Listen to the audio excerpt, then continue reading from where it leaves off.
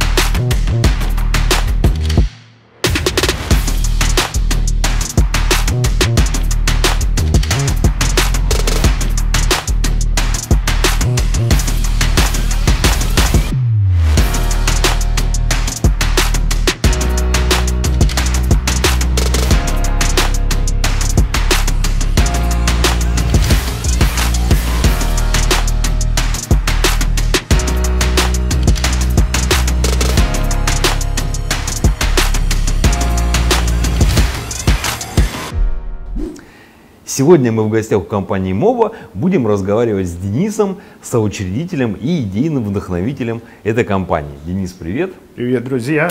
Всем Николай. привет.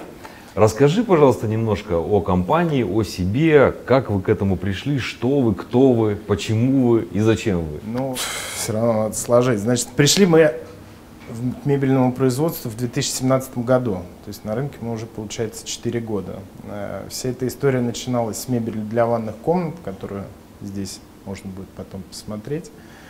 И, соответственно, путь наш был такой. То есть я занимался мебелью в свое время. То есть в 2008 году я работал в компании, которая занимается мебелью для ванных комнат. Но потом я от этого устал работать, ну, скажем так, на дядю. И э, мы решили с партнером организовать предприятие по производству зеркал ванной комнаты. Ванная комната была нам знакомое направление, поэтому мы а, взялись за него и а, делали просто зеркала с подсветкой, ну, то есть то, чем до сих пор, в принципе, занимаемся.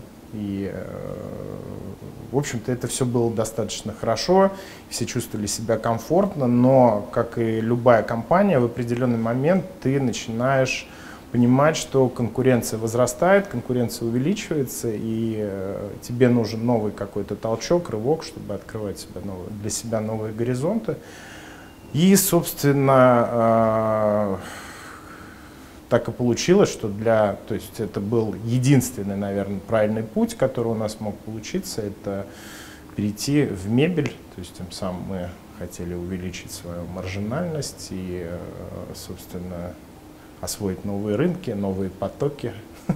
И, собственно, история вот такая, если вкратце. Но, э, в общем-то, так сложилось, что как раз в 2017 году пришел мой друг, партнер, ныне, тогда мы с ним не были партнерами, но были длительное время с друзьями. Кстати, это интересная тема, потому что я работаю с друзьями то есть у нас вот, альянс да, да, с друзьями. Это очень сложная, напряженная тема, но тем не менее, вот уже 4 года мы живем. Не скажу, что душа в душу, но достаточно комфортно. То есть, ну, все разные, поэтому, но тем не менее удается, в общем.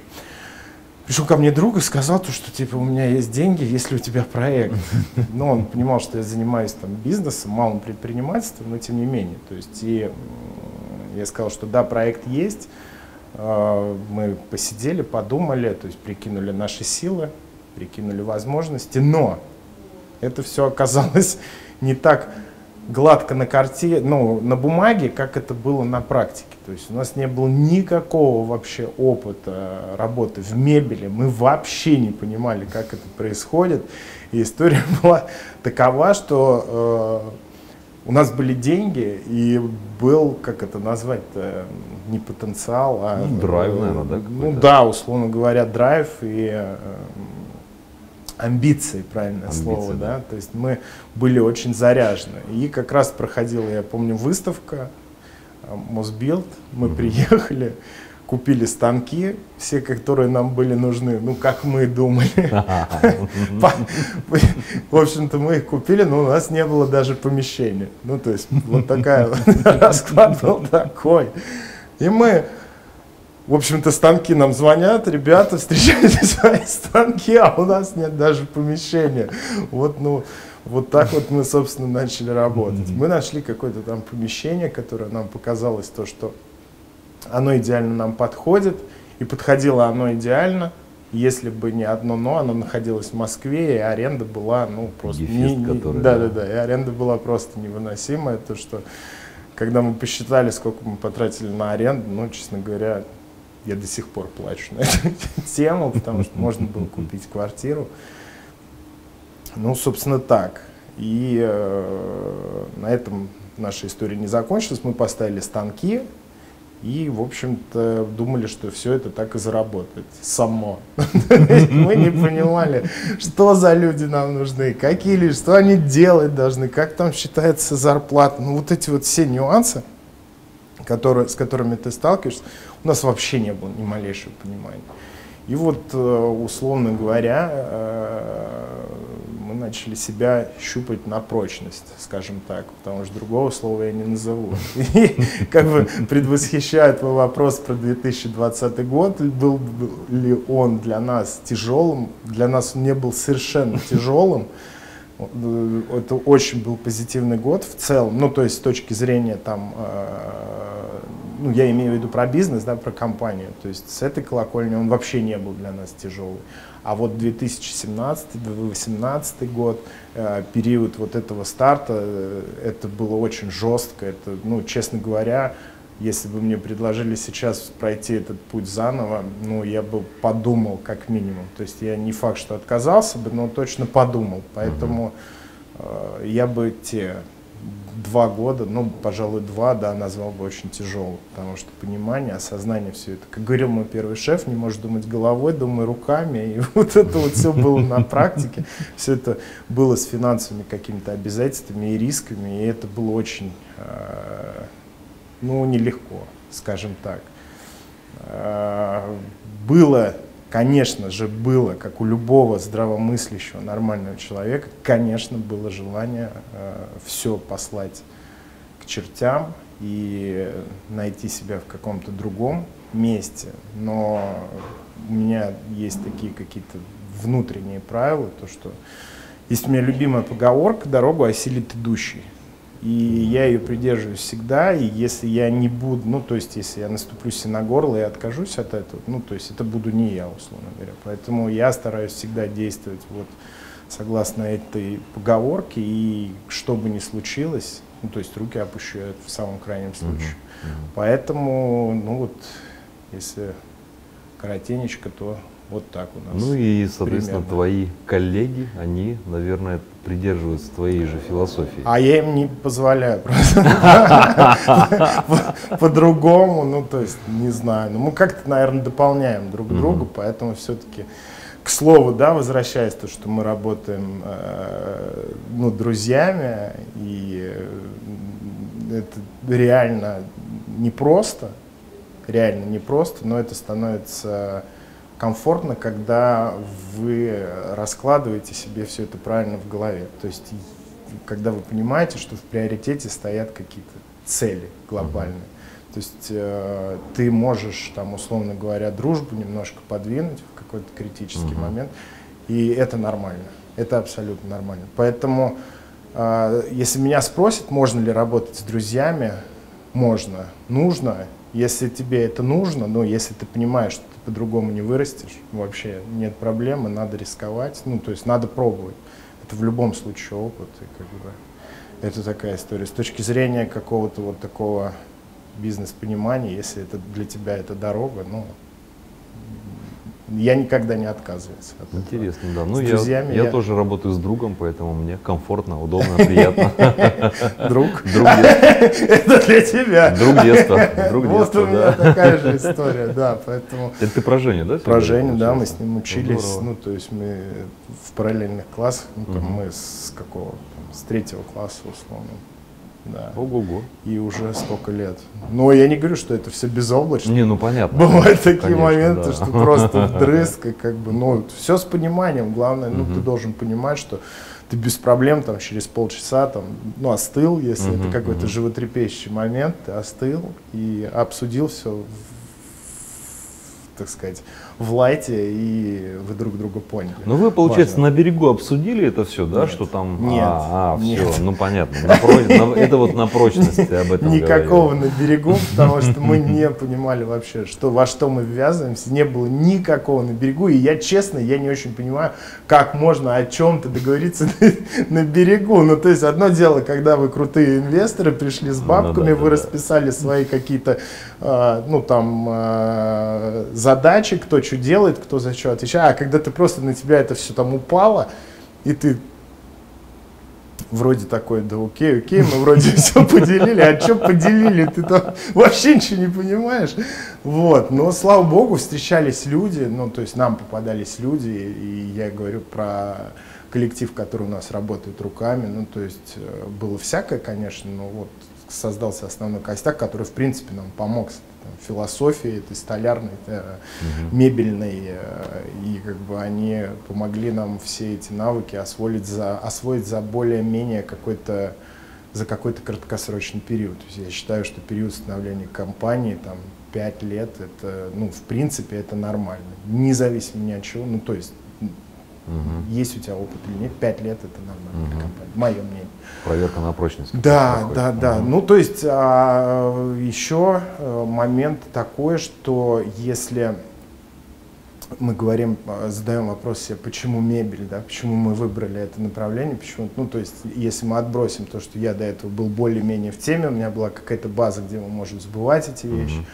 я считаю мебельный рынок очень перспективным в России, потому что с теми ценами, с, тем курсом, который мы сейчас имеем, мы даем очень конкурентные цены Мгм. а, при а, очень хорошем качестве. Я считаю, то, что мебельный рынок а, рынок с очень хорошим потенциалом, во всяком случае в данный период, а, учитывая то количество стройки, которое сейчас идет, учитывая то количество ремонта, и в принципе, ну то есть я не вижу никаких, то есть э, за счет того, что может быть мебельных компаний достаточно на этом рынке, но мне кажется, если ты создаешь хороший качественный продукт и обеспечиваешь э, хороший сервис, то клиент тебя найдет, и ты найдешь своего клиента обязательно. Вот, Поэтому, кстати, давай по поводу клиентов. Да. А, Кто ваши клиенты? Ну, Ну, наш- может, если есть мы сделаем портрет портрет, да, Да. это, на мой взгляд, это люди где-то, наверное, 30 плюс, э, если мы говорим о э, категориях возрастных Мгм. каких-то. Э, Какой-то предприниматель, человек со вкусом, ну, то есть тот, кто хочет вокруг себя создавать какие-то... Человек, который обращает внимание на детали, потому что мебель — это...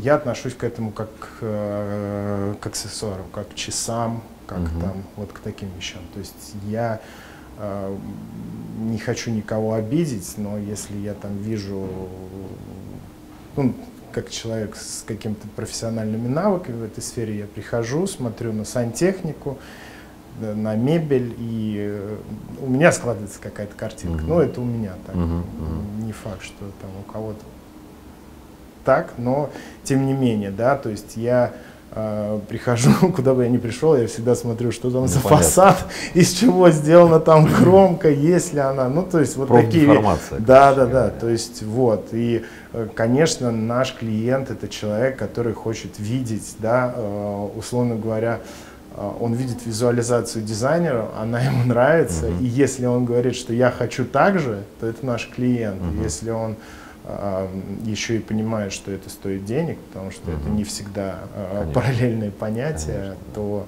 как бы вот это наш человек. Поэтому я вижу так. Откуда вы их берете? клиенты. Где вы их э, находите, этих А Основная площадка, где мы их находим, это Инстаграм. Э, Это то место, которое нам дало, дало определенный скачок, то есть э, именно качественный скачок. Э, И э, мы работаем в основном так. Сейчас, там, сейчас мы осваиваем и ТикТок, но пока для нас это не очень понятная история. Не хочу говорить про возраст, потому что не считаю себя каким-то одеревеневшим, окаменевшим товарищем, но тем не менее, нет, это, ну, там действительно сложно, я там пытаюсь заходить даже туда, понимаешь, что ничего не понимаю, и, и выхожу, ну, потому что это, для меня это просто, ну, как бы не очень понятно. То есть мне Инстаграм это понятная площадка, там, я понимаю, мы понимаем алгоритмы. Ну, алгоритмы, да, уже знакомы. Действия и все, поэтому нам мы вот так себя нашли. Ну и, конечно, сарафан работает, ну, его никто не да. отменял, да, то есть, ну, это, э, ну, это будет всегда так. То есть, если мы кому-то понравились, я надеюсь, что большинству все-таки наших клиентов мы нравимся, поэтому, ну, они нам дают какой-то ну, определенный да. импульс, да, даже если э, они сами не заказывают, то позитивный какой-то э, энергетический бросок в нашу сторону он дает нам определенный импульс, стимул. И, то есть, ну, я вот По поводу соцсетей, я просто да. отсматриваю ваши сторис, да. э, ну, в принципе, за вами слежу, mm-hmm. вас нежно люблю, да. вот, давно уже. А, там постоянно мелькает там моба ремонт, вот что да, такое. Вот об этом да, расскажи мне, да. пожалуйста, поподробнее. Это наше Ничего отдельное направление. Мы э, запустили свое, у нас есть своя бригада, это возглавляет моя супруга Наталья, она занимается ремонтами уже, ну, то есть мы, в принципе, мы начали свой путь в 2017 году, она занимается с 2018 года mm-hmm. ремонтами, то есть она непосредственно, да, если э, можно так сказать, прораб, но mm-hmm. это человек с очень широкой мыслью, и она это все планирует трансформировать в большую компанию. Э, именно ремонт, но это человек, который безумно любит свое дело, то, чем она занимается. И если ты за ним следишь, за, если Там ты за этим горят, следишь, то да. это очень удивительная на самом деле история, то, что э, девочка, девушка так относится к этой работе, ну, то есть э, мужики так не выполняет свою работу. Но тоже там, да, со своими сложностями, со своими приколами, да, ну, то есть, если говорить вкратце, то есть, ну, вот у нас сейчас подразделяется, есть МОБА, э, это мебельная компания МОБА, есть МОБА Ремонт, это подразделение, которое занимается организацией ремонтных работ. И а, также мы запускаем запускаем сейчас, то есть у нас уже есть несколько проектов, э, мы делаем свои дизайн-проекты, у нас в штате есть дизайнер uh-huh. с образованием, то есть человек, который и рисует, uh-huh. да, то есть это все под патронажем, опять же, Натальи Моба Ремонт. И э, вот, да, на ее, так сказать, э, потенциале мы создаем и охватываем новые какие-то направления. Ну, то есть, если это наше подразделение. Ну, то есть таким образом просто вы подготавливаете для себя хорошую базу, да? То есть пришли, сделали ремонт, да, ровные конечно. стены, конечно, там пол, и конечно. потом туда ставите свою. Даже если они не ровные, то это знаем только мы. Понятно. То есть так, я думаю, что так проще, так э, комфортнее большинству, потому что мы столкнулись э, с потребностью вот данной услуги, да, люди э, в большинстве своем не хотят заморачиваться с этой всей Согласен. историей, и мы хотим им в этом способствовать. Но э, рынок строительный очень специфичен, потому что у для большинства людей, если ты будешь там, выйдешь и спросишь там 20 человек на улице, мне кажется, что 18 тебе скажут, что ремонт это мрак. Угу. Потому что пьющие рабочие, вот, ну вот это вот вся катавасия, угу. грязь, угу. непонятная организация. И у людей есть какая-то такая не врожденная, а приобретенная, наверное, да, а, то есть они не доверяют с опаской, э, то есть им сложно довериться тебе. Вот наша задача это э, заставить э, людей поверить в нас так, чтобы в принципе отключить их полностью угу. от процесса, процесса. ремонта, да. И э, ну, я хочу сказать, что у нас получается. Не скажу, что без шероховатости и гладко, но мы очень стараемся. Слушай, ну вот расскажи, я просто человек далекий от, от э, скажем так, организации рабочего процесса ремонта. Ремонты да. у меня, конечно, были, у кого их не было. Да. А, как это получается? То есть приходит э, к вам ваш заказчик да. и говорит, вот у меня есть, грубо говоря, там коробка, в которой угу. нужно сделать вот прям да. красиво. Да соответственно, Наталья предоставляет там проект уже, да, здесь тут шторки у тебя, тут да. розетки там и так далее. И клиент потом заходит и говорит, о, вот оно. Ну, если совсем коротко, то да. Но, конечно, этому предшествует очень большая работа. То есть, если мы говорим про весь комплекс услуг, когда мы э, берем проект с нуля и делаем свой дизайн, там, ну, то есть это выглядит следующим образом. У нас есть большая, там, большой презентационный бриф, uh -huh. который заполняет непосредственно клиент, uh -huh. после чего отправляет его нам, и исходя из э, его пожеланий строим проект, даем ему несколько вариантов, которые ему покажутся наиболее близкими, мы уже начинаем их развивать. Uh -huh. То есть, ну, есть определенные правила, по которым мы действуем, потому что полет фантазии надо ограничивать, иначе он может просто переть угу. э, нескончаемо, и это превратится не в работу, а э, просто в сырбор. Угу. Поэтому это надо ограничивать. Поэтому, ну, просто если заказчика не ограничивать, он может тебя вот просто тебе накидывать, uh-huh, накидывать, uh-huh. и ну, это не будет работать. Uh-huh. А работа должна быть конструктивной, все должно быть конструктивно. Поэтому ну, вот, мы за такое, но опять же, да, мы идем, мы растем, то есть мы к этому подходим, чтобы это делать без сучка из задоринки. Да. Вот про конструктивность. Да. А, есть какие-то, ну наверняка там с учетом хоть даже там и несколько лет всего лишь прошло в вашей компании, какие есть, не знаю, такие особенности, на которых бы а, ты порекомендовал вашим заказчикам заострить свое внимание? Там, кому идти, там, я не знаю, та же фурнитура какую брать, там, э, какие краски, ну вот что-то такое. Здесь все там. очень просто.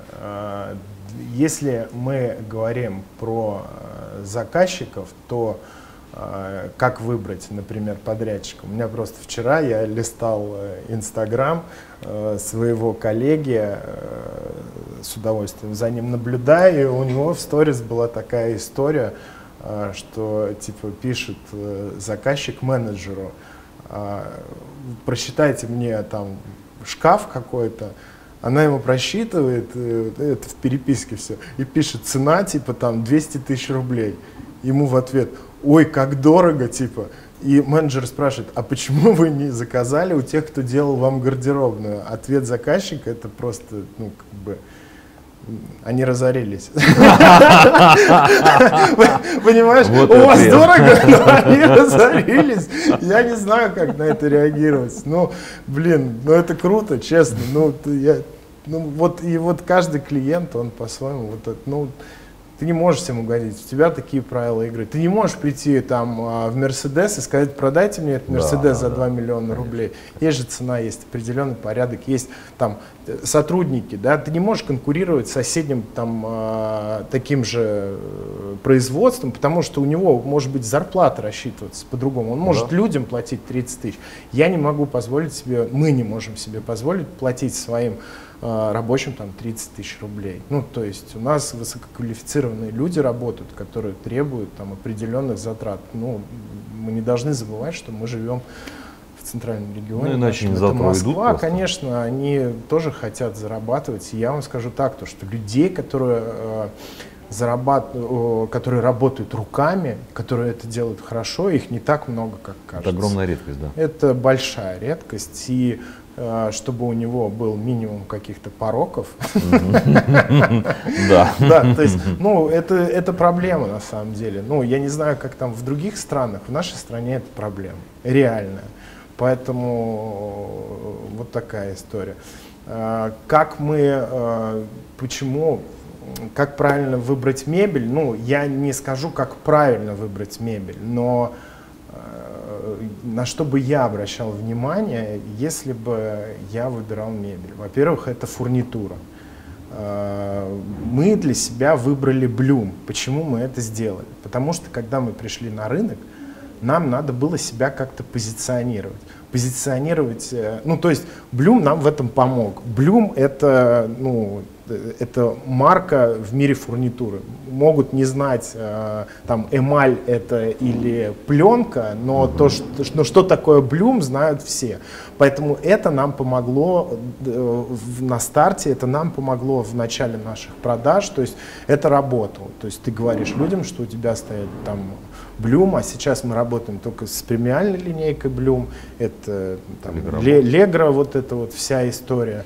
И у нас нет проблем с этим. То есть для нас все понятно. У нас уже у людей, у мастеров там шаблоны все сделаны, все руки набиты. Ну, то есть нам и нет смысла вообще э, как бы заморачиваться. То есть нас никогда не подводила э, фурнитура, нас устраивает сервис. То есть нам сегодня это надо, значит сегодня это будет. Поэтому с, с этим нет никаких проблем. С кем вы не готовы сотрудничать или не будете э, сотрудничать? Или, например, что вы э, для своего уже там хорошего давнего заказчика ну просто не станете делать? Есть такие Мы моменты? Э, не станем обещать, что мы сделаем до Нового года. Это ужасное обещание и ужасное требование на самом деле. Да, поэтому мы вот эти вещи с каждым годом это становится делать все проще. А, но мы стараемся как бы избегать этого. Это очень жестко, потому что у людей есть э, очень категоричное в этом смысле мышление, и они отказываются, ну, то есть там слышать, что до Нового года они не успеют. То есть после Нового года там все сгорает. Да-да-да, и все. Не въехал, извини. Но, не, э, это, пожалуй, наверное, самое жесткое. То есть если мы берем проект, э, там, неважно, от дизайнера наш этот проект, или просто нам заказчик позвонил, и хочет что-то исполнить, вероятнее всего, ну, мы, э, все зависит от занятости производства. То есть э, мы можем на какое-то изделие дать большие сроки, которые просто не устроят заказчика. Угу. Это такой вот тоже важный момент. Ну и там, наверное, есть какие-то маленькие очень заказы, которые, ну, скажем так, он не, не хочу, опять же, да, там ничего это сказать, но вот типа там что-то там за 5000 рублей надо сделать там за неделю, ну, мы как бы это просто ну, мы так не работаем. Есть угу. определенный там регламент, есть техпроцесс, который там должен пройти. И, ну, наверное, все-таки это, скорее всего, связано со сроками, прежде угу. всего. Потому что э, процесс производства мебели э, нашего качества, а я отношу нашу мебель там, к качеству средний плюс и выше, ну, то есть, как бы, это так, сегмент, если мы говорим, угу. то есть, это э, не какие-то там э, ну, это средний плюс для меня. А, и техпроцесс по созданию данных изделий, он достаточно длительный. То есть а, мы не, на каждое изделие, если мы делаем это в проекте, и проект создает не из базовых вещей, которые у нас уже есть, угу. Там чертежи, потому что ведь мебель, э, основной процесс э, создания мебели это подготовка чертежей. На угу. самом деле само изделие там может делаться там за неделю, условно угу. говоря, при там, огромном желании. Но чертежи ты не сделаешь там, потому что ими занимается один человек, а это может быть там пятиметровая стенка uh-huh, с кучей uh-huh. всяких э, выдвижных там элементов и так далее. Это же все должно рассчитываться. Плюс пока идет процесс согласования, у нас же люди, ну, заказчики не всегда понимают, что э, сначала надо согласовать то есть не обязательно, то есть процесс э, запуска заказа, он идет после согласования, uh-huh, uh-huh. то есть срок. А вот этот вот процесс, когда многие этого не понимают, мы объясняем, мы над этим работаем, то есть менеджеры стараются это объяснять. А, за что, что мы еще не возьмемся сделать, если так сказать. Очень тяжело бывает, да, вот так вот даже скажу, что тяжело бывает до с заказчиком объясниться по поводу, э, например, стена неровная, и у него здесь зазор там 3 угу. миллиметра, а здесь зазор там 5 миллиметров. Угу. И э, по идее э, ты тут не виноват, мебель не может строиться в соответствии с геометрической формой комнаты.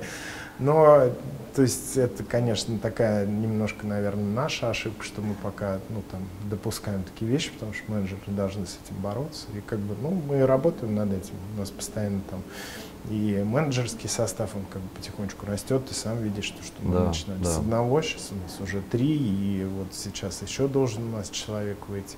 Мы начали заниматься, комплектовать нашу мебель помимо э, ну, просто того, что мы делаем мебель, стали продавать там раковины, смесители, то есть мы целиком это берем.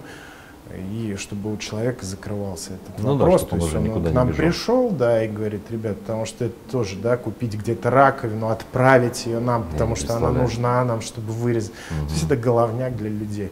Мы стараемся это закрыть, то есть у нас хорошие цены, у нас рыночные цены, то есть мы э, не в магазине их перекупаем, мы работаем с крупными оптовыми компаниями, которые поставляют все это к нам на рынок. Ну вот, вот. Давай, может быть, для облегчения и для быстроты принятия решения вашим клиентам дадим промокод на скидку в 5% для покупки э, ваших изделий для ванной комнаты. Давай сделаем. Ну, вот вам промокод, э, дорогие зрители, пользуйтесь. Э, Срок действия этого промокода написан в описании к этому видео. Ну, на этом мы закончим, наверное. Денис, спасибо тебе большое. Спасибо, было даже для меня это было интересно, хотя я знаю тебя уже очень много лет Приходи, и там что-то слышал. Да, предыдущий обязательно. Успехов Отлично. вам, удачи и всего И хорошего.